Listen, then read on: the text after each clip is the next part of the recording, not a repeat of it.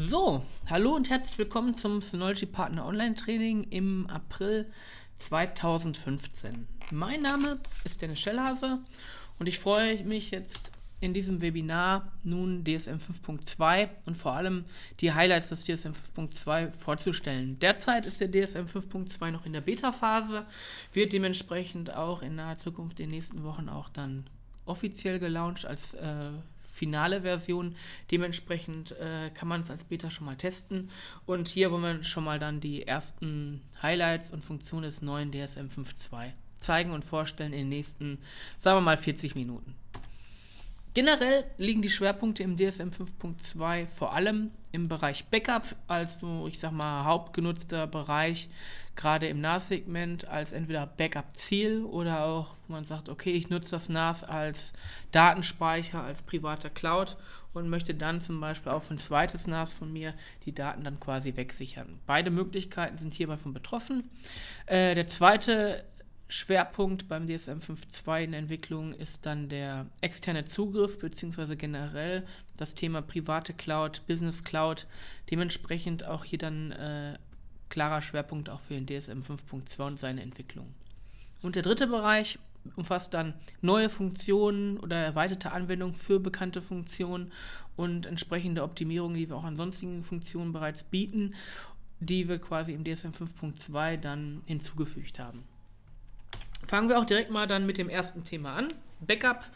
Äh, was haben wir hier alles an Neuigkeiten für den DSM 5.2? Hier sind vier Bereiche vor allem zu erwähnen. Einmal der Bereich Backup Rotation, dass man nun auch äh, bei den versionierten Backups, die man zum Beispiel auch mit dem Time Backup Paket in früheren DSM-Versionen kannte, nun quasi integriert ist in der Datensicherung und Replikationsanwendung, haben wir nun die Möglichkeit, diese versionierten Backups nach bestimmten Schem Schemata quasi aufzubewahren. Der zweite Bereich umfasst die Wiederherstellung. Wir bieten nun eine wesentlich flexiblere Wiederherstellung der Daten. Wir haben einen Filestation-ähnlichen Fallbrowser entwickelt, womit man Daten dann in verschiedenen Versionen, einzelne Dateien zum Beispiel, wiederherstellen kann. Das heißt, ich muss nicht mehr das gesamte Backup-Set wiederherstellen, sondern kann mich auf einzelne Dateien dann festlegen, die ich in einer gewissen Version, so wie ich sie brauche, dann wiederherstellen kann. Der dritte Bereich ist die verschlüsselte Übertragung. Das heißt, wir bieten nur noch die Möglichkeit, gerade für Businesses, die ihre Daten immer verschlüsselt übertragen wollen, auch für das Backup quasi eine verschlüsselte Übertragung zu nutzen. Und äh, als viertes haben wir nun auch das Backup optimiert, damit man nun 30% schneller seine Backup-Aufgaben erledigt kriegt, verglichen mit DSM 5.1 und zuvor. Das heißt, auch hier haben wir verschiedene Optimierungen getroffen. Generell möchte ich aber vor allem die Punkte 1 und 2, Backup Rotation und den Backup File Browser, gerne noch etwas detaillierter erklären. Und das tue ich jetzt am besten anhand der nächsten Folien. Generell versionierte Backups bieten wir, wie schon erklärt, über Time Backup, beziehungsweise jetzt integriert in Datensicherung und Replikation. Bis DSM 5.1 war es so, dass wir gerade bei versionierten Backups quasi diese erstellen konnten. Die wurden auch durchgeführt, nach einem Zeitplan zum Beispiel.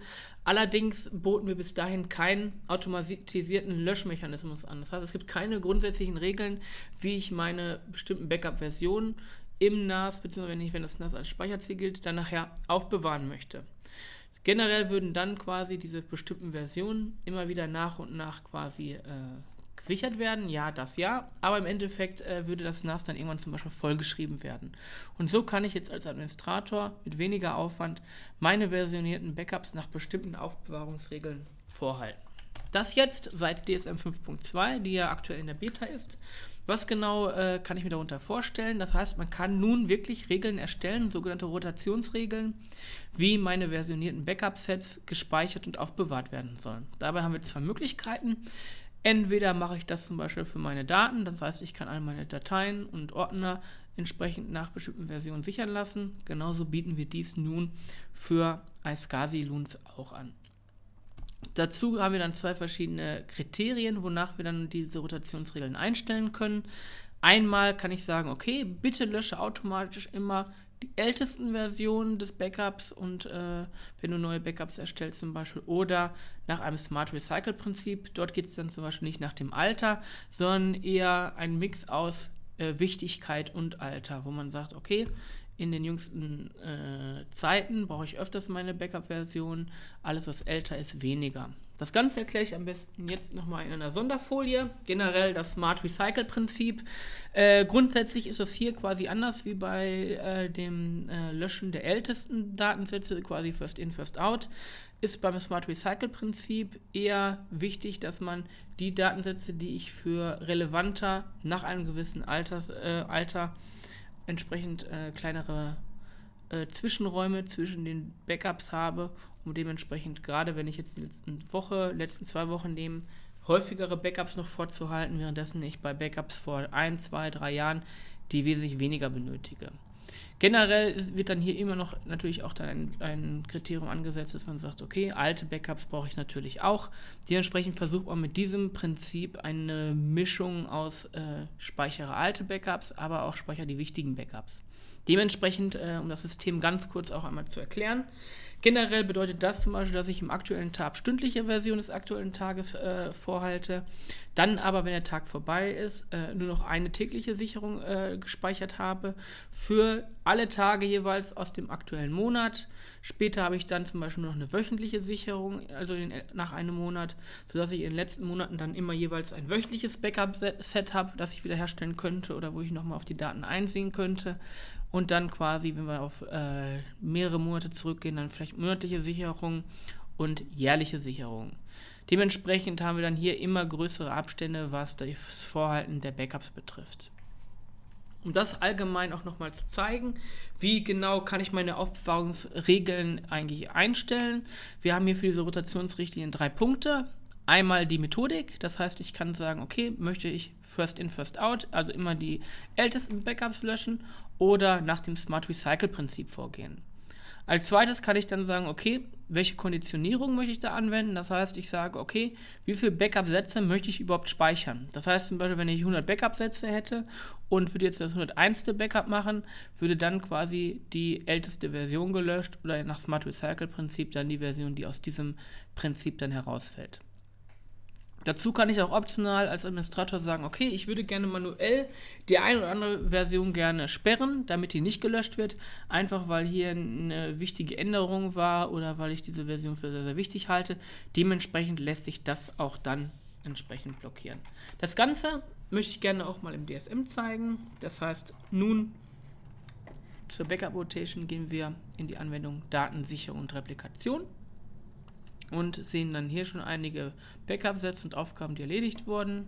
Wir haben schon einige Backup-Aufgaben angelegt, nehme ich mal das Smart Recycle Backup gehe auf Bearbeiten. Hier sieht man dann zum Beispiel die Einstellungen, die man schon kennt. Ich kann sagen, welche Ordner möchte ich zum Beispiel sichern oder auch welche Anwendungen, die auf dem NAS gerade laufen, möchte ich wegsichern. Die Neuerung begibt sich dann in Aufgabeneinstellungen. Hier haben wir nun die Möglichkeit, die Sicherungsrotation zu aktivieren und zu sagen, okay, nach welchem Prinzip möchte ich vorgehen. Zum Beispiel die frühesten Versionen einfach nur immer, oder beziehungsweise die ältesten Versionen immer löschen oder nach Smart Recycle Prinzip und kann dann nun die Anzahl der Versionen bestimmen und sehe dann auch zum Beispiel schon in der Zeitleiste, wie sieht das dann ungefähr aus, wenn ich nach ältesten Version gehe oder nach Smart Recycle Prinzip. Dementsprechend kann ich dann zum Beispiel sagen, okay, nehmen wir 100. Und dann sehen wir auch schon, hier sind dann quasi die Abstände der Daten, die vorgehalten werden, wesentlich kleiner wie nachher, wenn wir auf einen Monat hinausgehen, wo dann die monatlichen Sicherungen sind. Und dann alles, was dann älter ist als 19 Monate, dann auf jährliche Sicherung umgestellt wird. So, und dann kann ich natürlich auch einen Zeitplan immer noch einrichten und sagen, okay, ich möchte an den und den Tagen zu dieser Uhrzeit immer sichern und äh, danach geben sich dann die Regeln, wie ich meine Datensätze vorhalten möchte. Dementsprechend bin ich hier nun vollkommen flexibel in den Möglichkeiten, die mir gegeben sind. So, gehen wir weiter zum zweiten Bereich. Der File-Version-Browser. Hier haben wir nun die Möglichkeit, die Datenwiederherstellung noch flexibler zu gestalten. Das heißt, wenn ich zum Beispiel verschiedene Versionen einer Datei hatte, musste ich früher beim Backup, äh, gerade wenn ich die, äh, die bestimmte Dateiversion wiederherstellen wollte, im Endeffekt eigentlich das komplette Backup-Set wiederherstellen.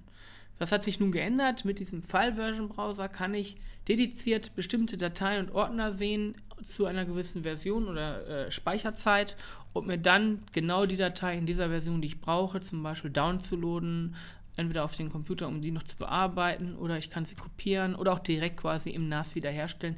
Habe also wirklich freie Wahl, was ich machen möchte. Ich muss sie also nicht unbedingt wiederherstellen, ich kann sie auch einfach rauskopieren und mir angucken, was waren da überhaupt erstmal. Dazu haben wir auch eine Zeitleiste für Dateiversion, sodass ich hier nun wirklich sehen kann, äh, wie viele Versionen gibt es zum Beispiel von dieser Datei und, und von welchen Zeiträumen haben wir das. Auch das möchte ich gerne einmal zeigen.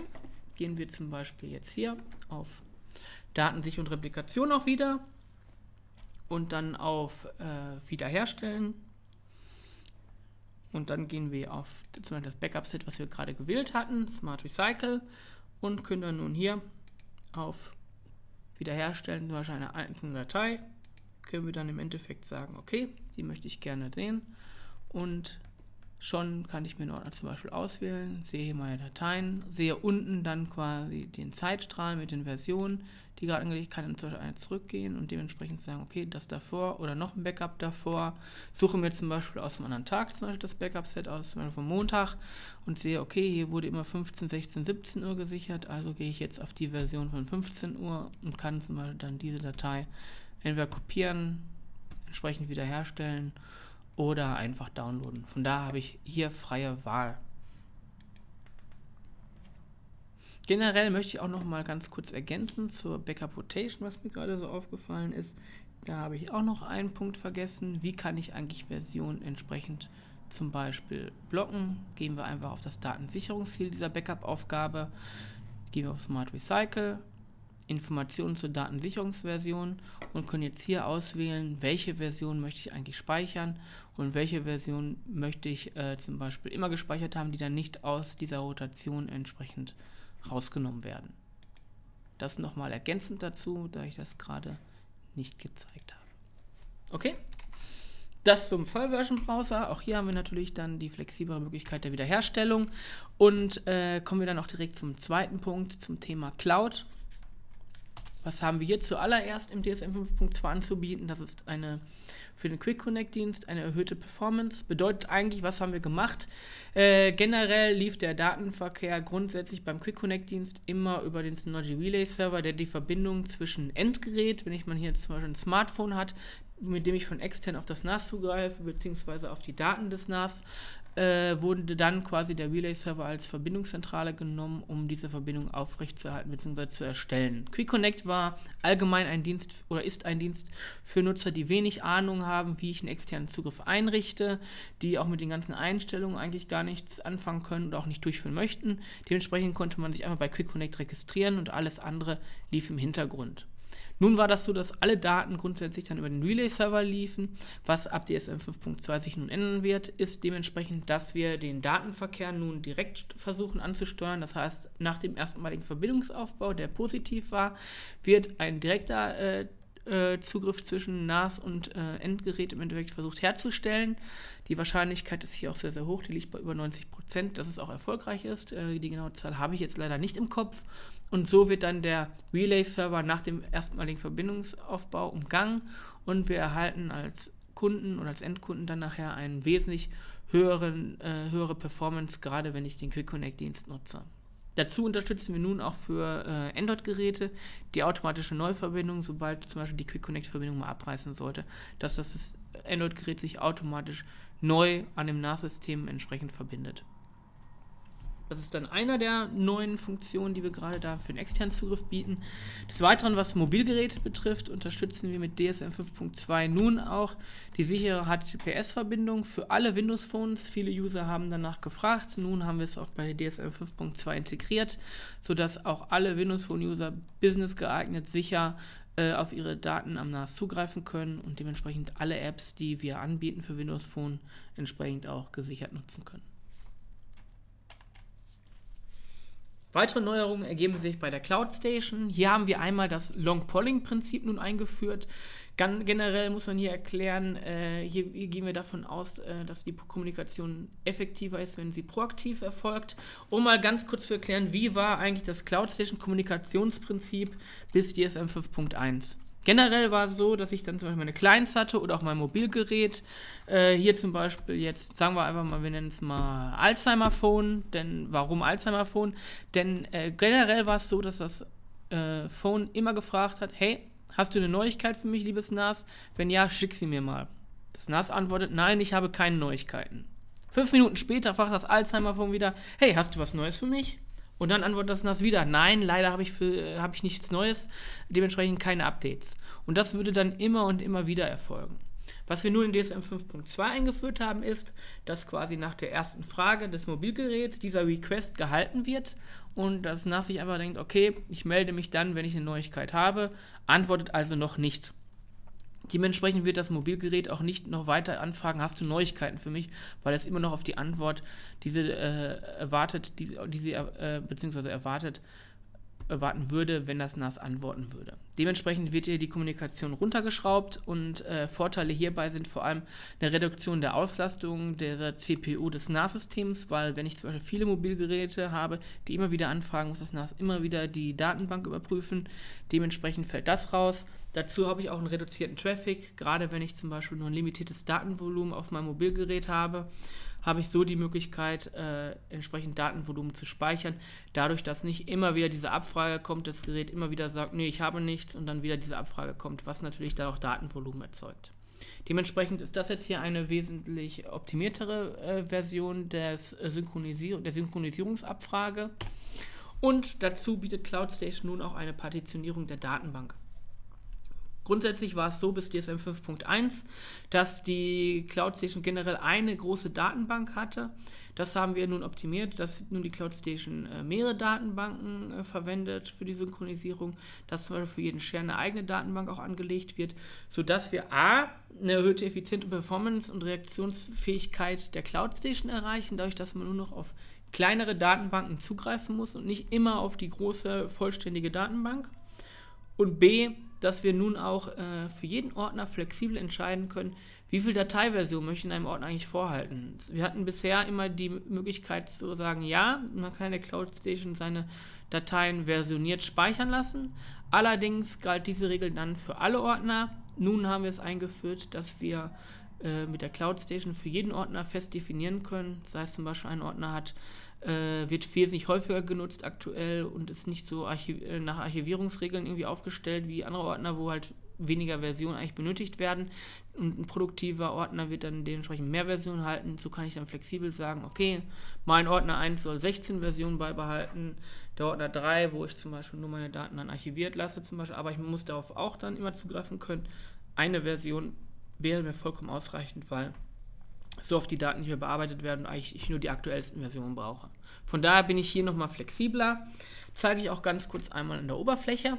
Das heißt, wir starten die Cloud Station und gehen nun auf Einstellungen. Und hier haben wir dann die freigegebenen Ordner im Endeffekt und sehen auch schon die maximalen Versionen. Standard. Standard bedeutet hierbei, hier wird einfach die maximale Versionsanzahl genommen, die wir von der globalen Einstellung haben. Hier maximale Versioneinstellung ist 32, kann also hier bis zu 32 Versionen meiner Dateien jeweils verwenden. Wenn ich das jetzt ändern möchte, kann ich mir sie markieren, gehe auf maximale Version, sage, hey, 32 ist mir zu viel, verbraucht mir viel zu viel Speicher, brauche ich gar nicht, machen wir 4 draus. Schon würde für diesen Ordner nur noch vier Dateiversionen jeweils dann gespeichert werden. Von da habe ich nun die Möglichkeit, wirklich zu sagen, okay, wie viel Version, äh, Versionierung brauche ich pro Share. Bin damit also noch einmal wesentlich flexibler. Das zum Thema Cloud Station. Generell haben wir auch für die File Station noch eine Optimierung getroffen. Das heißt, ich kann nun in der File Station auch Public Cloud Dienste einbinden. Bedeutet in diesem Fall, dass sie gehandhabt werden wie lokaler Speicher. Ich aber remote darauf zugreife. Das heißt, die werden nicht gedownloadet auf das NAS. Ich brauche keinen Datenspeicher in dem Sinne, sondern greife einfach remote auf die Daten zu, als wenn diese, dieser Cloud-Speicher in meinem NAS wäre dementsprechend nur bei Bedarf. Das heißt, wenn ich äh, gerade die Daten auslese, werden äh, die Daten mir angezeigt, ansonsten werden sie nicht auf dem NAS gespeichert. Auch das zeige ich einmal kurz anhand der File Station, wenn ich diese nun öffne. Wir haben schon ein paar Accounts zum Beispiel eingerichtet, Dropbox-Account oder auch den äh, Google Drive-Account, wo wir gerade jetzt die Verbindung mal erst einmal aufbauen. Danach sind die nicht mehr ausgegraut und kann dann quasi auf meine Daten zugreifen, die bei Google Drive liegen, als wenn sie lokal auf meinem NAS wären. Generell lässt sich die Einrichtung auch sehr leicht vornehmen. Das heißt, ich gehe auf Extras, Remote-Verbindung und gehe dann auf Verbindungseinrichtungen und kann hier sagen, okay, welchen Dienst möchte ich jetzt hier nun integrieren? Dropbox, Google Drive, äh, WebDAV-Server, FTP-Server, das heißt, ich kann auch natürlich mehrere NAS dann über WebDAV oder FTP hier einbinden, ganz wie ich möchte und kann dementsprechend sagen, okay, nimm Google Drive, ich logge mich ein und schon sehe ich nachher den Share quasi in meinem NAS-System. Von daher habe ich hier quasi eine zentrale Oberfläche für meine Daten im NAS, aber auch vielleicht für meine Cloud-Dienste, wenn ich sie verwende, wie gesagt Dropbox, Google Drive, OneDrive, je nachdem, was ich nutze. Cloud Sync wurde ebenfalls optimiert. Das heißt, ähm, wir haben zuallererst die Möglichkeit, nun wirklich zu spezifizieren, wie soll die Synchronisierung überhaupt ablaufen. Das heißt, ich kann nun entscheiden, möchte ich diese bidirektionale Verbindung, die wir bisher immer angeboten haben, nutzen, oder ich möchte zum Beispiel nur eine eindirektionale, also einen unidirektionalen Sync haben. Beispielsweise sage ich, okay, ich möchte eigentlich die Cloud nur als Backup nutzen und kann so sagen, okay, Cloud Sync, wir machen unidirektional Sync zur Cloud, also von NAS zu Cloud als Backup. Genauso kann ich sagen, okay, ich würde gerne meine Daten, die ich in der Cloud habe, gerne immer in Echtzeit synchronisieren aufs NAS, damit ich die Daten auch nochmal auf dem NAS habe, falls gerade mal der Zugriff auf meine Public Cloud nicht möglich ist. Sei es, weil der Dienst nicht verfügbar ist oder aus sonstigen Gründen oder vielleicht, dass ich Angst habe, dass eventuell dieser Dienst mal die Daten verlieren könnte, kann ich meine Daten auch von der Cloud aufs NAS synken. Zum Thema Backup bieten wir nun dadurch auch bei der Cloud Sync die Datenverschlüsselung. Das heißt, wenn ich jetzt unidirektional meine Daten vom NAS in die Cloud synken möchte, als quasi Backup an einem anderen Standort, damit ich im Falle eines Ausfalls des NAS oder Brandes oder, oder Hochwassers oder was es auch immer gibt, zumindest in einer Katastrophe, äh, meine Daten immer auch nochmal an einem anderen Standort gesichert habe, also in die Cloud, kann ich meine Daten im Vorfeld äh, verschlüsseln lassen. Hierbei handelt es sich um eine komplette Offsite-Verschlüsselung, das heißt, die Daten werden am NAS verschlüsselt und erst dann äh, zum Cloud-Dienstleister äh, weitergeleitet und nicht äh, erst danach, wie es manche zum Beispiel Cloud-Dienstleister anbieten, die sagen, okay, wir bieten auch die Verschlüsselung der Daten, dort werden die Daten dann zum Beispiel erst dann beim Cloud-Dienstleister verschlüsselt. Hier handelt es sich wirklich um eine Offsite-Verschlüsselung, das heißt, die Daten werden erst verschlüsselt und dann erst in die Cloud abgelegt. Ganz wichtig zu erwähnen ist hierbei, dass die Daten an der Cloud nicht auslesbar sind. Das heißt, ich kann auch nicht mit einem Key die Daten auslesen. Das erfolgt ausschließlich über das NAS. Das heißt, ich kann nur mit einem NAS-System, also mit einem Synology NAS, diese Daten entsprechend dann auch wieder auslesen, indem ich dann den entsprechenden Key verwende, um die Daten dann downzuladen und entsprechend wieder zu entschlüsseln. Ansonsten würde der Download im Endeffekt immer dazu sorgen, dass ich die verschlüsselten Daten auch nur verschlüsselt downloaden würde. Generell unterstützen wir auch nur ein Passwort bzw. Zertifikat pro Public Cloud Account. Das heißt, ich nutze nur ein Passwort für meinen Public Cloud Account und für meine Synchronisierung dann, die ich dann an diesem Account durchführe. Dazu unterstützen wir auch noch einige weitere Dienste, wie zum Beispiel S3-kompatible Anbieter. Das heißt, wenn ich jetzt zum Beispiel Händler bin und äh, möchte gerne sagen, okay, oder ich möchte für meine Endkunden auch die Möglichkeit bieten, Cloud-Speicher aus meinem eigenen Rechenzentrum anzubieten. Kann ich zum Beispiel über S3 oder über WebDAV quasi mit meinem großen Synology NAS zum Beispiel dann meinen vielen Kunden, die kleinere NAS verwenden, sagen, okay, hier, ich kann dir Cloud-Speicher anbieten, du kannst deine Echtzeitsicherung bei mir in meinem Rechenzentrum ablegen, dann natürlich auch verschlüsselt, dass die Daten auch wirklich dann verschlüsselt bei mir im Rechenzentrum liegen. Diese Möglichkeiten bieten wir quasi gerade für Händler, die sagen, okay, hier, wir möchten euch Cloud-Speicher anbieten und ihr seid wirklich sicher, dass wir die nicht auslesen können. Dazu unterstützen wir auch Amazon Web Service, SFR nun und auch iCloud. Generell möchte ich auch erst einmal kurz zeigen. Gehen wir auch hier wieder aufs NAS und dann auf die Anwendung CloudSync. Hier sehen wir auch schon wieder mehrere Accounts, die uns eingerichtet haben, nämlich nochmal den Google Drive Account, gehen wir zum Beispiel auf Einstellungen und schon sehen wir, okay, ich kann sagen, welche Synchronisierungsrichtung möchte ich anwenden. Bidirektional, nur quasi in die Cloud oder quasi von der Cloud synchronisieren. Man sieht auch schon hier dann den Punkt, Moment, und auch hier den Punkt dann zum Beispiel Verschlüsselung. Dementsprechend ist sie jetzt deaktiviert. Ich kann sie auch im Nachhinein nicht äh, mehr aktivieren. Das heißt, ich kann es erst dann wieder aktivieren, wenn ich halt neuen, eine neue Aufgabe, eine Cloud Sync Aufgabe erstelle und dort dann direkt sagen, okay, die Daten sollen verschlüsselt werden. Das zeige ich einmal kurz, das heißt, ich gehe einfach auf das Plus, sehe dann hier die Dienste zum Beispiel, hier sieht man noch S3-Speicher, WebDAV-Speicher, Google Drive, nehmen wir mal Google Drive. würde auch wieder dann der Login erscheinen und im Endeffekt im nächsten Schritt das Fenster kommen, wo ich sagen kann, okay, ich gebe diesem ganzen Cloud-Sync eine Aufgabenname, kann sagen, okay, äh, welcher lokale Sync-Pfad soll verwendet werden und kann dann sagen, in welche Richtung ich synchronisieren möchte. Am Ende dann kann ich hier mit einem Haken sagen, okay, alle Daten sollen vor dem äh, Hochladen in die öffentliche Cloud erstmal verschlüsselt werden, sodass ich hier sicher bin, dass die Daten wirklich auch nur verschlüsselt in die Cloud gehen.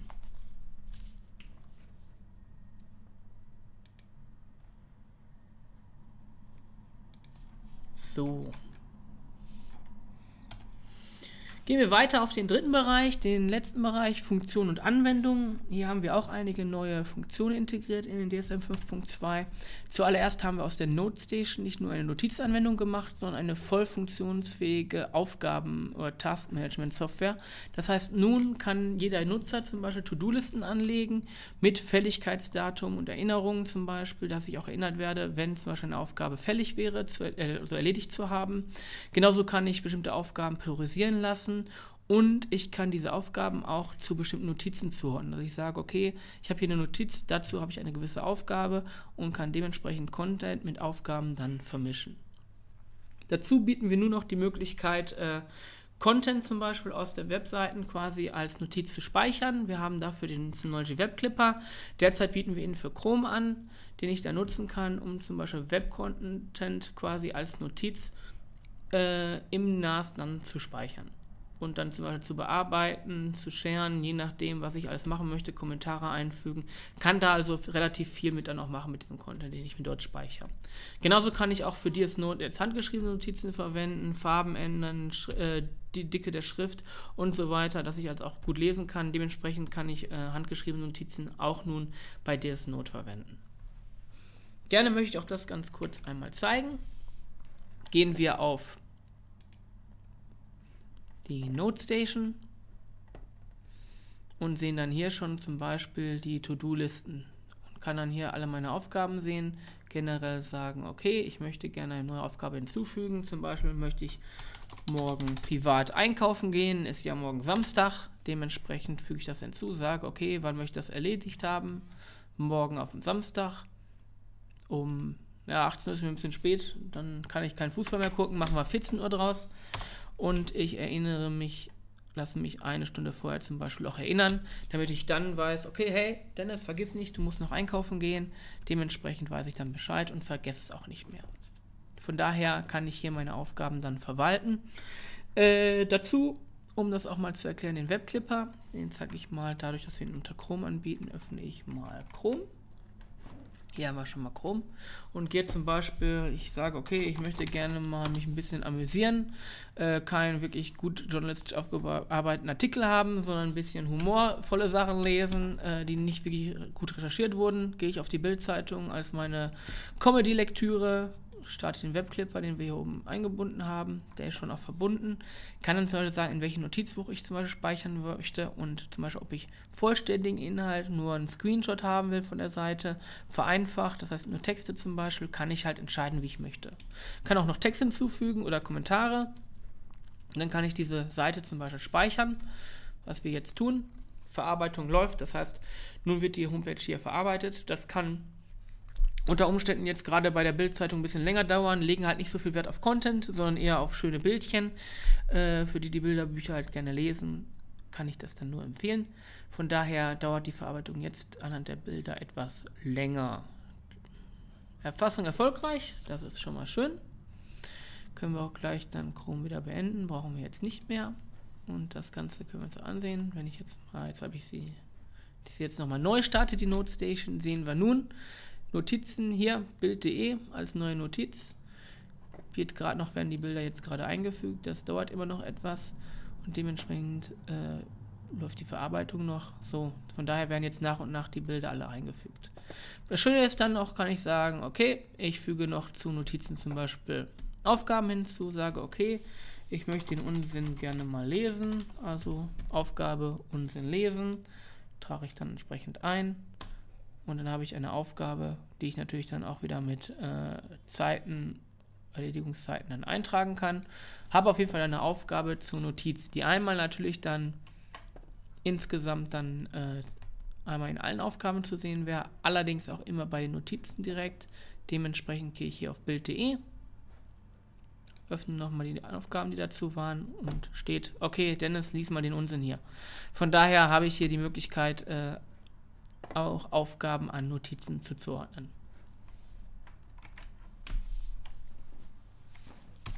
Des Weiteren bieten wir nun mit DSM 5.2 Docker an. Was genau ist Docker? Was kann ich darunter verstehen? Docker ist eine äh, Lightweight-Virtualisierung, womit ich wirklich dann äh, nur spezifische Applikationen virtualisiere. Ich muss also nicht mehr, wie man es von äh, gewöhnlichen, ich sag mal, Virtualisierungsplattformen kennt, wo ich das gesamte Betriebssystem virtualisieren muss die gesamte Umgebung zum Betrieb einer virtuellen Anwendung. Das muss ich nicht mehr machen, sondern ich kann hier wirklich dann nur die Anwendung selber virtualisieren. Bedeutet in dem Fall, gerade weil NAS-Systeme eher darauf ausgelegt sind, energiesparend zu bleiben, sind halt keine hochleistungsfähigen Server, die entsprechend energiesparend zu bleiben und äh, vor allem auch ruhig zu bleiben, äh, werden hier vor allem weniger Ressourcen benötigt, ist also ressourcenschonender und dementsprechend sehr effektiv dann auf einem NAS-System einzusetzen. Äh, generell haben wir hier auch das Docker Hub integriert. Das heißt, ähm, generell gibt es eine große Community für Docker, die vorgefertigte Images zum Beispiel schon erstellt mit Anwendungen, sodass ich als Nutzer von Docker generell diese Docker-Applikation sehr, sehr einfach dann nutzen kann. Wir haben das integriert, dass wir auch die Community äh, beziehungsweise generell die Pakete, die angeboten werden in Docker Hub von Communities oder von den äh, Herstellern selber im Endeffekt dort ganz einfach integrieren können. Generell sei nur zu erwähnen, dass äh, Docker nur unterstützt wird auf alle NAS-Systeme mit Intel-Plattformen und auch nur für 64-Bit-CPUs. Das heißt zum Beispiel, dass die Play-Varianten hier leider rausfallen. Äh, unterstützt wird es dadurch nur von Geräten mit 64-Bit Intel-Prozessor wie DS713 Plus, DS415 Plus, 1515 Plus und höher. Ähm, dazu sei noch zu sagen, dass zum Beispiel eine DS2015XS nicht unterstützt werden würde. Dementsprechend, weil sie keine Intel-Plattform hätte. Das aber nur nebenbei. Eine vertiefte Präsentation möchte ich dazu erwähnen, gibt es im nächsten Webinar, Partner Online-Training im Mai. Da kann ich dann schon mal darauf aufmerksam machen. Deswegen möchte ich einmal grob zumindest Docker und die Oberfläche erklären.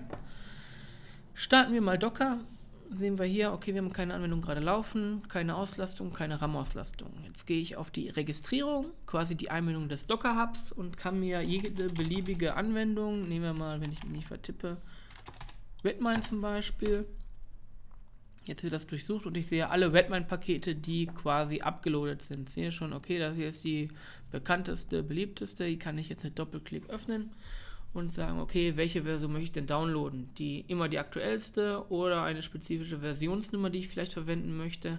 So kann ich sagen, okay, ich erstelle mir vielleicht ein Image der aktuellsten Version und teste die erstmal, bevor ich die dann produktiv im Einsatz habe. Solche Möglichkeiten habe ich dann. Und diese Images, die ich gedownloadet habe, finde ich dann alle quasi in dem Bereich Images. Haben wir hier zum Beispiel Ubuntu laufen, kann im Endeffekt zum Beispiel sagen, okay, ich würde gerne Ubuntu mal laufen lassen kann dementsprechend sagen, okay, ich erstelle einen Container, gebe ihm den Namen Ubuntu Test 123. Ports lasse ich automatisch zuordnen. Klicke auf Weiter. Im nächsten Schritt kann ich dann für jedes für, für jeden einzelnen Container auch eine Beschränkung der CPU-Priorität eingeben, genauso wie des maximalen verwendeten Arbeitsspeichers, falls ich mal eine Anwendung mit höherer Priorität laufen lassen will oder mit niedriger. Das heißt zum Beispiel, wenn ich nur eine Testumgebung laufen lasse, werde ich wahrscheinlich CPU-Priorität auf niedrig setzen, vielleicht auch den RAM-Speicher runtersetzen, damit äh, im Endeffekt mein NAS nicht so ausgelastet wird, weil ich hier vielleicht keine Performance brauche, sondern nur vielleicht neue Funktionen der neuesten Version erstmal testen möchte. So, übernehmen. Und schon haben wir einen Container erstellt, der Ubuntu Test 123 hat. Von daher haben wir hier verschiedene Container. Wir können auch mehrere Container laufen lassen. Kann damit entscheiden, okay, welchen Container lassen wir laufen. Ich lasse jetzt auch diesen Ubuntu-Container mal laufen. Haben wir also aktiviert, sehen also auch sofort, wie hoch ist die CPU-Auslastung, wie viel RAM wird benötigt. Von daher habe ich alle die Möglichkeiten zu sehen. Gehe jetzt auf Details, sehe zum Beispiel, wann es aktiviert wurde und kann jetzt hier sehen, okay, lokale Ports 49254. Da greife ich mal auf die Oberfläche zu, damit man sieht, dass es auch läuft. Kopiere mir eben die Adresse des NAS. einfügen. Ich glaube, das war 49254. 49254. Richtig. Und wenn ich darauf dann zugreife, läuft der Container, Ubuntu läuft, kann zum Beispiel jetzt hier äh, den Dateibrowser öffnen. Dementsprechend äh, habe ich nun die Anwendung am Laufen, hochperformant auch, dadurch, dass das System sogar nicht wirklich ausgelastet wird, maximal ein bisschen RAM, die das System benötigt. Von daher äh, sehr, sehr effizient und einfach zu bedienen und vor allem schön einfach zu verwalten. Das heißt, selbst Anwender, die jetzt weniger Ahnung davon haben, können ohne viel Fachwissen dementsprechend solche Container nutzen und verwenden. Und jede Anwendung, die im Paketzentrum zum Beispiel nicht angeboten wird, dementsprechend hierüber finden, installieren, nutzen oder sich zum Beispiel auch eigene Pakete zusammenstellen. Von daher hat man hier wirklich breite Flexibilität, was die Anwendung von Synology NAS betrifft. Und alle Anwendungen, die nicht im Paketzentrum enthalten sind, Entschuldigung, kann ich dementsprechend dann auch äh, über Docker dann entsprechend integrieren. Wie gesagt, ich möchte dazu nochmal, äh, auch am Ende nochmal aufrufen, eine vertiefte Präsentation dazu gibt es nochmal im Mai, die sich dann wirklich der Virtualisierung beschäftigt, wo natürlich auch Docker eins der Hauptthemen dann sein wird. Weitere Funktionen, die wir mit DSM 5.2 oder beziehungsweise Optimierungen, die wir da getroffen haben, sind einmal, dass wir nun äh, beim SSD-Cache 99% weniger RAM benötigen. Das heißt, wir haben die Datenblockgröße auf 64 KB hochgeschraubt. Dementsprechend benötigt das System nun weniger RAM, um viel SSD-Cache zu verwenden. Das kennen wahrscheinlich viele Kunden, die sagen, okay, ich habe ein großes NAS-System, möchte viel SSD-Cache auch dort nutzen, weil ich viel äh, große Mengen an Hot Data habe, die oft in dem Sinne ausgelesen werden müssen. Dementsprechend äh, brauche ich dann die RAM-Erweiterung. Das wird jetzt nicht mehr in diesem Ausmaße dann mehr der Fall sein, dadurch, dass wir das optimiert haben und nun 90% weniger RAM für die Verwendung von SSD-Cache genutzt wird. Somit kann ich jetzt wesentlich mit dem gleichen Anzahl an RAM viel, viel mehr SSD-Speicherplatz fürs Caching verwenden. Dazu unterstützen wir nun auch gruppenbasierte Speicherkontingente. Das heißt, wir haben jetzt User-Quota, die ich nach Gruppen vordefinieren kann. Das heißt, wenn ein Nutzer einer gewissen Gruppe zugeordnet wird, bekommt er zum Beispiel ein gewisses Speicherkontingent anhand der Gruppenrichtlinie zum Beispiel vorgegeben, kann natürlich als Administrator sagen, okay, ich möchte das nochmal ändern und der User soll mehr oder weniger bekommen, je nachdem, wie ich das als Administrator dann einstelle. Letzte Funktionalität, auf die ich ganz kurz eingehen möchte, ist Single Sign-On. Ähm, Single Sign-On selber ist eine Funktionalität, womit ich gerade mich nur einmal einloggen muss in ein System und kann damit, bin damit automatisch auch auf, eingeloggt in anderen Systemen. Brauche mich also nicht mehrfach überall einloggen. Ganz einfaches Anwendungsbeispiel, was man vielleicht auch kennt, ist zum Beispiel bei Windows. Ich logge mich in Windows mit meinen Daten ein und dann habe ich noch laufen ein ERP-System, ein CRM-System, müsste mich dort überall auch noch einloggen, wenn ich es im Unternehmenseinsatz dann nutzen möchte. Und wenn die alle über einen Single Sign-On-Server äh, in dem Sinne verwaltet werden, brauche ich mich nur bei Windows einloggen und brauche ich bei allen anderen Anwendungen nicht mehr einloggen.